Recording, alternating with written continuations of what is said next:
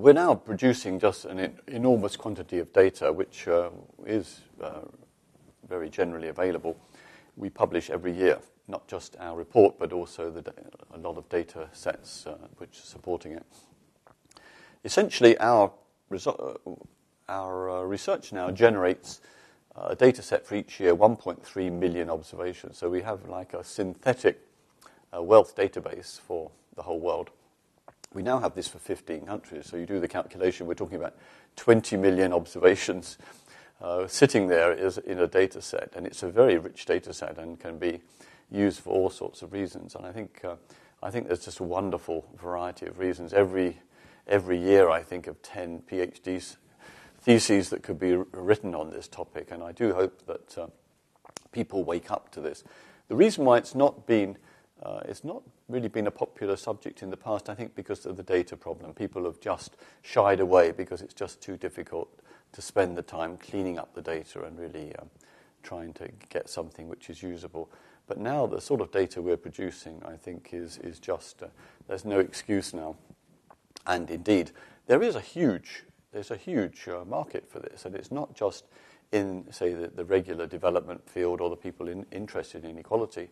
It is the, the, the big banks. Uh, they have a very big interest in the asset holdings of people, what's happening there, you know, which part of the, which regions, which countries in the world are doing particularly well, uh, how many new uh, consumers are coming out of these countries, what sort of things uh, are they going to be interested in buying, um, what sort of financial instruments are, are, are going to be happening, what's going to be happening to their stock markets. All of these things are really, are really very interesting. So we're very hopeful that uh, it will um, really stimulate a lot of research.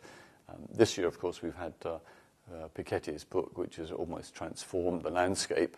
I think just uh, so we're now in a what I sometimes call a post-Piketty world. I think that we just view these topics in a different way. Inequality is clearly important for all sorts of reasons, and people need to give this more attention. The WID is really a very important national, uh, international resource. I mean, and it's so important that it is uh, maintained and developed uh, here. It's a public good, so there's there's some cost to keeping it uh, running. But so many researchers rely on this as a basic source of information.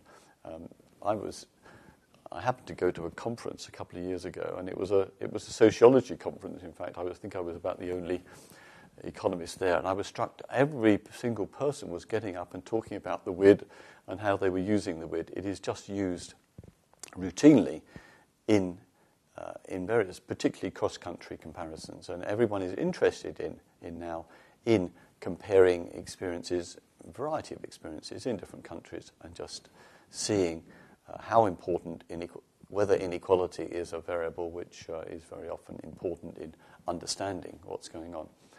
So the, the notion about uh, keeping this uh, resource going and developing it to a point where it is even more valuable as a research tool for researchers, I think is is, a, is really just a core um, core thing for the future. And uh, if WIDER doesn't do this, then other people are going to step into that to that vacuum.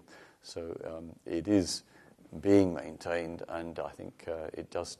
We need to make sure that the resources are available to, to make to continue that and continue to update it uh, and to keep the quality very high and to allow people to really uh, use that in uh, make it very easy really for people to use that in their research.